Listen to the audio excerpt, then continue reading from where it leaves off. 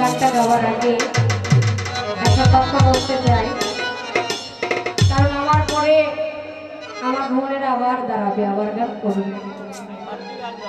হয়তো বলতে পারে যে পুতুল দামান এমন একটি গান করল, যে গানটার পরে আর কোনো গান থাকে না। এটা অনেকেই মতভেদ এরকম করে।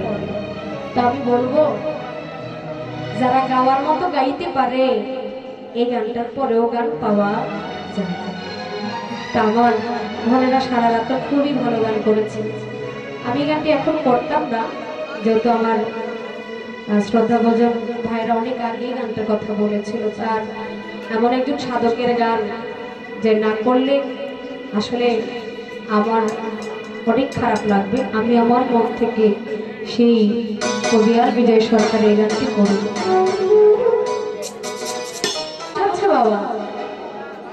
প্রতিটা মানুষ কেউ কিছু না কিছু হারিয়েছে। কেউ মুখে হাত দিয়ে বলতে পারবে না যে আমার জীবনে আমি কিছু হারাই কেউ দুই দিন আগে হারায় তো দুই দিন পরে হারায়।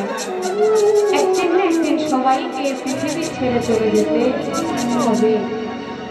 বাবারে জন্ম যেহেতু নিয়েছি মৃত্যু আপনার আমার জন্য অনিবার্য। সে মাওলা পাঠিয়েছে ঠিকই, কিন্তু সে মাওলার কাছে আবার যেতে হবে। আসলে